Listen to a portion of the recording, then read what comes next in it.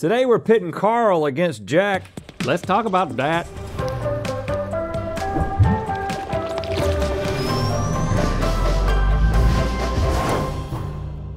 Good mythical morning. In our time on this show, we've tried more than our fair share of fast food. I'd say more than enough for a lifetime. A couple of lifetimes. In fact, our lifetimes are likely shorter because of it. I'm sure they are. Yeah, yeah. But it's been totally worth it, and we power on for you in the name of discovery.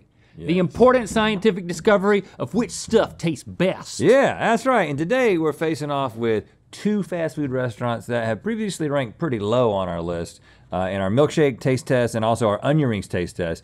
So we're calling this kind of a bottom of the barrel battle, if you will, of Carl's Jr. versus Jack in the Box. Now, in preparation for this episode, our team did a little digging and found some very interesting trash talk. So back uh, a couple years ago, Kim K, that's short for a Kardashian, Uh-huh. uh, she said, Hey, Jack in the Box, I have a serious complaint, but I won't fully put you on blast. Oh. Check your corporate email inbox or send me a DM with direct person for my team to contact. Pronto! Interestingly, Jack in the Box did not respond, but Carl Jr. said, oh, Opportunity is a knocking, and said, Psalm 520, thou shalt not go to Jack in the Box. That ain't the, that ain't Psalm. Uh, it, it isn't, but hey, I didn't know that Carl would play that little Chick Fil A game. I didn't know. I I, know, didn't know they got into the Bible verses. Getting biblical with that okay, trash right. talk. Psalm 5 uh, doesn't go to 20 verses. Yes, Because I right. have the, I have the whole thing memorized. Right, of course you do. You want to do this? It's time for Food Feuds Carl's Jr. versus Jack in the Box. We're gonna taste and compare similar items found at both of these fast food restaurants, but I guess not the milkshakes or onion rings. It Could get weird if, if we have. Uh. We're going we're gonna rank them head to head and see which one is the best. Yeah, and whichever restaurant scores highest in the end will be dubbed the Belle of the Burger Ball. And you know what? They're going to win a chance to sponsor a future GMM episode. Just a chance. Just a chance. Okay, so we did a previous food feud uh, of only breakfast foods with Burger King versus Jack in the Box. Jack in the Box lost. But we didn't taste this sandwich, so we're hoping that it's better than what we had before. Let's see the first. one. okay.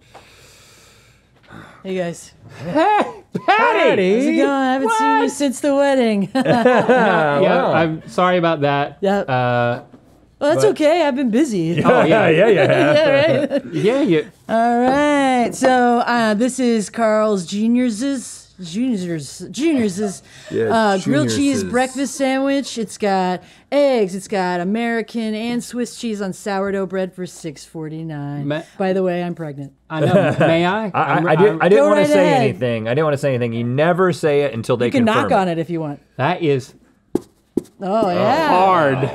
Real taut. Not a lot of give there. Yeah, it's Dirk's, by the way. Um, and Oh, hey, Dirk, He's really excited about it. So yeah, Is this thanks. what's keeping you guys together? Yeah, I guess. my beautiful hollow baby. Hey, uh, so I'm sorry. I'm really excited Daddy. about being a dad. Yeah, Daddy there Dirk. I've been reading a lot of the uh, baby books. Did you know that uh, baby's first poop is called meconium? Meconium. That's right, and it's a digested amniotic fluid. Yeah, they make batteries out of it. Do they? Yeah. Oh, hmm. okay. It's also pitch black, which is cool. it's pretty metal. I love it. Anyways, food.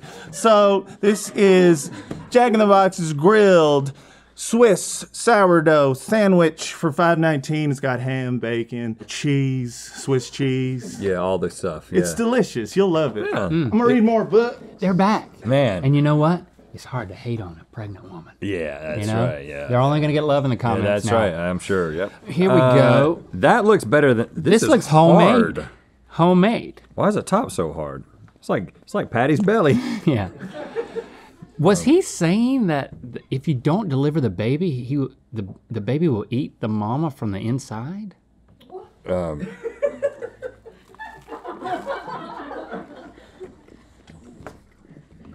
Kind of sad. It's not bad. It's actually not bad. but it's it's It- not bad in like a I'm at summer camp and It- it- somebody's dad made sandwiches. It's really homemade feeling. It's like it's like thrown together. Both of your faces were saying no the whole time. I know. Yeah, yeah, yeah. Just trust your body language, Rhett. Because this one, well, well, I'll it, be. it does look better. I mean, there's There's more This- going on, and it's better toasted. This one just has bacon, and this one has the ham and the bacon. Ham and the bacon. And then when you get to the the egg, they're both freshly cracked, I think. Mmm. This is better though. It also has a homemade style, Like it's not, Quality. it's not all melded together in like a mm-hmm. McGriddle type way. which is our gold standard. I mean, this isn't. It's also not great, but it's better. I'm giving that a four. I was thinking the same thing. I'm also giving that a four. And then over here, I'm gonna give this a nice, easy five. Yeah, I'm gonna go with an easy five as well. I, I'm, I'm flirted with a six, but going with the easy five. Hey, it's burger time, boys. Yeah, so good to see you. Great to see you too. Um, so this is our double jack uh, with two beef patties. Are you and okay? I'm sorry. Uh, I have this thing called Couvade syndrome. It's where you uh, mirror the pregnancy of your partner, and so you you mirror their symptoms. So I can't stop crying. So he's post, postpartum depression. Prepartum. She, she hasn't had the baby. Oh, yeah. it's yeah, during partum. Oh Okay. yeah, yeah. yeah. Anyways, Okay. it's 5.59 and it's delicious. During partum. Hey, babe, look. Oh, that's badass. Wow, look at that. Wow. It's like a server in training. Whoa, don't hold, hold on now. All right. I got a little underbelly there. Oh yeah, I can't keep it together, you know. Uh, this is the Big Carl. He's got two all beef patties, American cheese, Oh. lettuce, uh, classic sauce on a seeded bun, which uh, is technically what I have right now. oh, seated. oh yeah, and it's eight thirty nine. I get it. I get it. Seeded. Seeded. So this is a, it's a it's a double. It's a double Big burger. Carl. So it, was it Carl first or was it Hardee first? Because Okay. now where I'm from is Hardee's. All right, Link, I know the story here. And this is actually pretty fascinating. Carl's Jr. was started when Carl Karcher uh, took $15 from his savings account and borrowed $311 to purchase a single hot dog cart in LA in 1941. Now, the Jr. in Carl's Jr. does not refer to anyone named uh, Carl Jr. It was actually when he first started his restaurants, he had full service sit down restaurants, but then he opened two mini restaurants and he called those juniors because they were smaller and they had quicker service. Okay. However, Carl Karcher and his wife did have a son named Carl, but they did not name him Carl Jr. After all that, They called him Carl Leo Karcher, and he was found guilty of insider trading for selling off Carl's Jr. stock shortly before it plummeted. What a story, huh? if they would have named him Carl Jr., would he not have done that? I think he was bitter. now So this is like a Big Mac, right? It's, It- it's supposed to be like their answer to the Big Mac? yeah, get, eat, bite them, bite it, taste it, give us. You give said bite them. Get it. You mean like each each patty? I like this. It's got a nice thousand island dressing. It is their Big Mac. Um, that's why they call it Big Carl. That's a They're not it's s- a saving flame too much. broiled. Get that off your face. It has a flame I didn't want to pick it. I just want. It was a sesame. quality to it. Yeah, it's like a big king, I would say. I do like it. I don't want to rate it until I've tasted this one, though. Good gosh. What is that? It's way saucier What is. over here on this this part of the world. Okay, get, so, get rid of some of that. Now, this one's got mustard. I like that better. Why do you like it better? Because I I, don't. The burger tastes better to me. It's not flame broiled. Yeah, but I actually like it because it tastes a little bit more like a diner burger to me. Okay, well, so we're going opposite directions. And I like one. the I just like the the sauce. I mean, th- I just got Thousand Island, but not a lot. It really comes together as a unit, and I like that about it. I'm gonna give the Big Carl a nice, even seven. Uh, I'm gonna give it a five. Ooh. I mean, I'm gonna give this a six. So I'm not. It's not like wildly better. Well, I'm gonna I'm gonna give this a I'm gonna give it a five. It's right down the middle. Okay. I'll You know? have another bite. Chicken time. Hey there. Uh, This is Carl's hand breaded chicken tenders. They're dipped in buttermilk, hand breaded, golden brown. You got it. Comes with your choice of dipping sauce. Wow, look at that. There you go. All, all of them. And they're Heinz. Hey, beautiful. Hey, babe, how you Oh, doing? gotta. Uh, You forgot the dipping sauce. uh, I had to drive all the way here on my lunch break. thank you, Polly. That's Well, well, well. If it isn't Dirk's work wife, Polly. Hattie, you look well.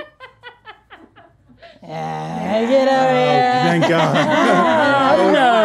No, you made Ah, that- you remember, Polly? She stormed into our wedding. I do, yeah. It, It wasn't wasn't Professed her awkward at love all. to my husband on our wedding day. yeah, it was a great. Yeah, we worked it out. And were you table. involved in this? well, actually, uh, he promised to make me the baby's fairy godmother. What? If we made up. So Wait, what?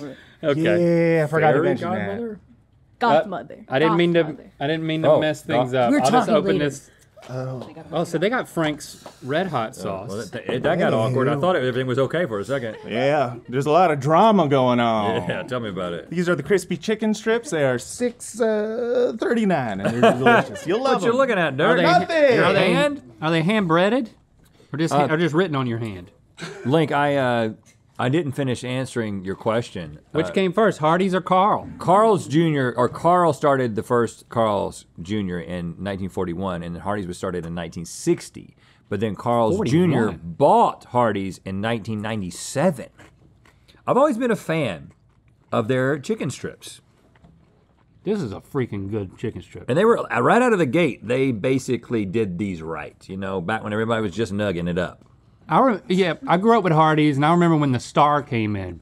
I didn't know why, but I guess that was '97. Woo, that's good, isn't it? Yeah, Now it's over a good chicken strip, man. over here, these there's no way this can be as good. I'm gonna dip it in the same type of sauce, but they're honey mustard sauce.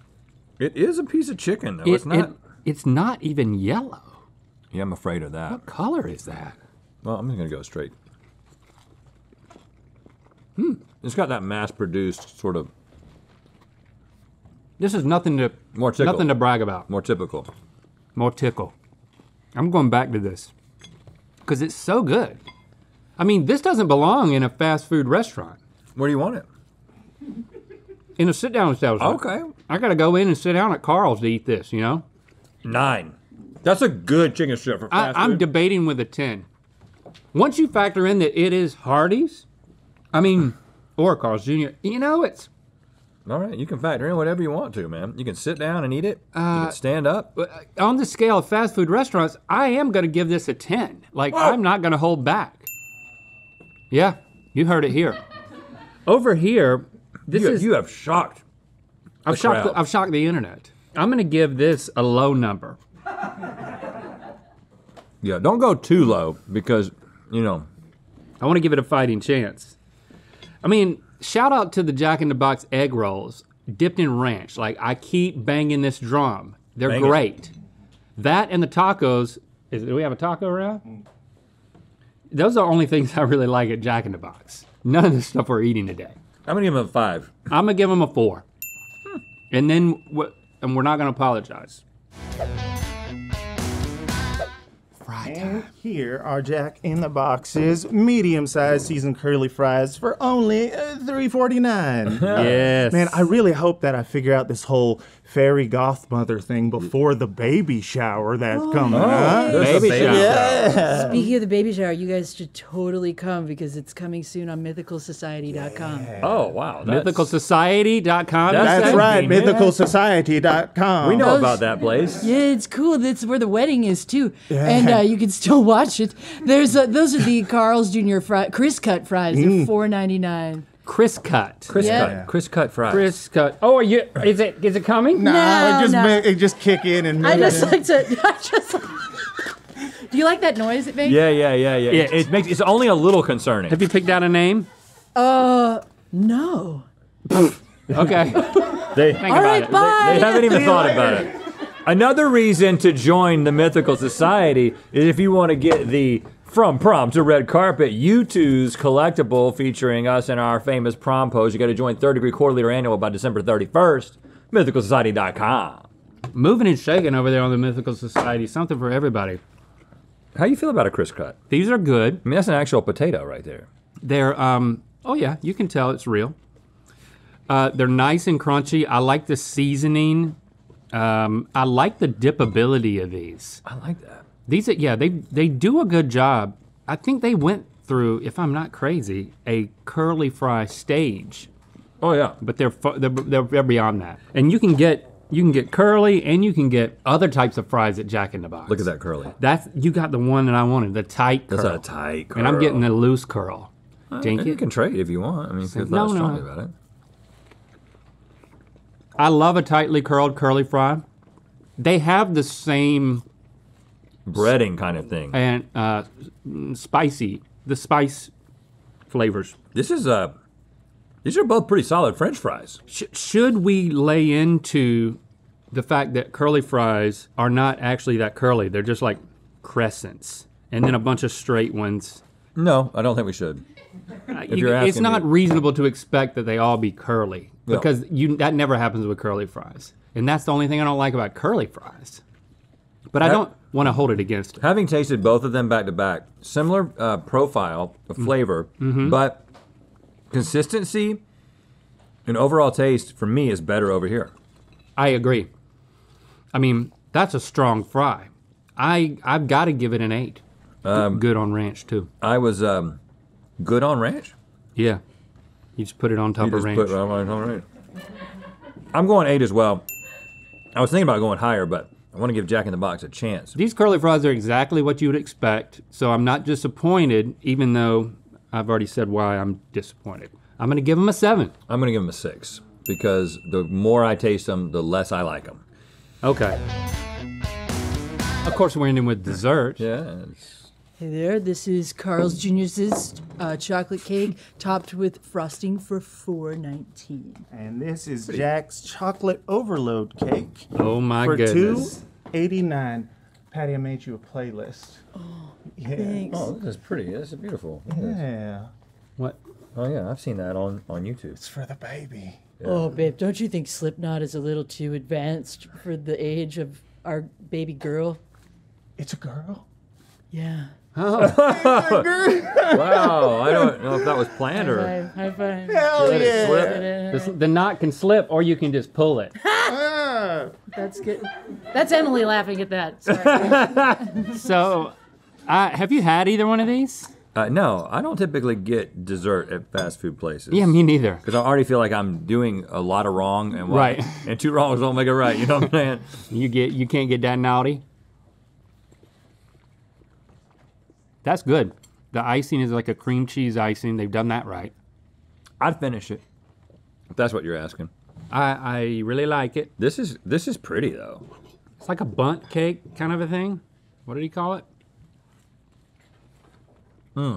Very moist. I'm missing the cream cheese icing, but the the cake is It's so top good. quality. This is they, this is really good. wow, Jack. I mean, they they just got like a tractor trailer full of these things. They just back up and dump them out. You know, they're not baking in either one of these places. How did they get it so moist? I know. I really like the cream cheese over here. I'm gonna give this one a seven. I'm giving it a five. Oh, I'm giving it a five. and I- I'm missing the cream cheese over here, but everything else is just making me forget. I'm gonna give this a seven. I'm giving that an eight. That's how that's how strongly I feel about that. Now we've scored everything, but I, if I may take a moment, may. I would- I would like to make an argument that I've never made on a food feuds before. But I Oh, just, buckle I mean, up, everybody. Isn't it pretty obvious? I mean, I don't know the score that Jack in the Box is is losing miserably. We've talked about them losing twice before, Yep. but there's a couple of things. Uh, you know, Jack in the Box was the first fast food restaurant to introduce a breakfast sandwich. They're innovators. Okay. It was the first fast food place to have a two-way intercom system at the drive-through. What? I mean, Uh-huh. okay. All right. Okay. They serve breakfast all day. all day. They've been doing it since 1969. you can get that crappy sandwich all day. And I'm I'm holding back on y'all, but Jack in the Box is also the first fast food restaurant to introduce a portable salad. okay, I'm not clapping for that.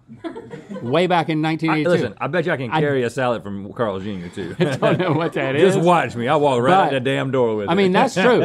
so I just feel like, and and they they have so many things on the menu. and also they have big tacos, little tacos. They have We don't egg talk rolls. about this often, but they're significantly less expensive too. and the than- price. Than Carl's Jr. So I we just don't feel talk like, about the price. I feel like we need to throw some extra points at How many Jack points in the you wanna Box. throw at 'em? Uh, twenty. Oh, okay. Th- th- This is No, where your idea like of numbers. I don't I don't know the score. I'm gonna. I was thinking somewhere in like the seven range. Oh, okay. Five. you can't. You want to give him five points? Five points all for that. I- How many I- things did you mention? Uh, Six.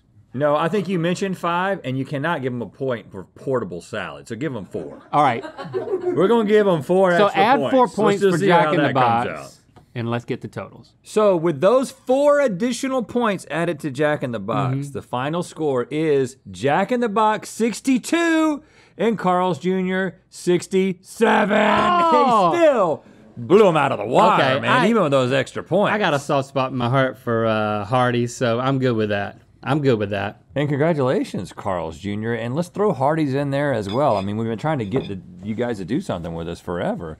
Uh, you are the belle of the Burger Ball. Come sponsor a GMM episode. Congrats, Dirk and Patty. Mythical Society shower, apparently. Thanks for subscribing and clicking that bell. You know what time it is. I'm Jeffrey, I'm Christina, and we're from Augusta, Georgia. and we're here at Lake Eibsee in Germany, where we just got married. And, it's, time, to spin the wheel of mythicality. Dang! I love it! Click the top link to watch us try the worst things the Sporked team ate this week with Danny from Sporked. And to find out where the mentality is gonna land. To get our Youtooz collectible, join Third Degree Quarterly or Annual by December 31st. Visit mythicalsociety.com for details.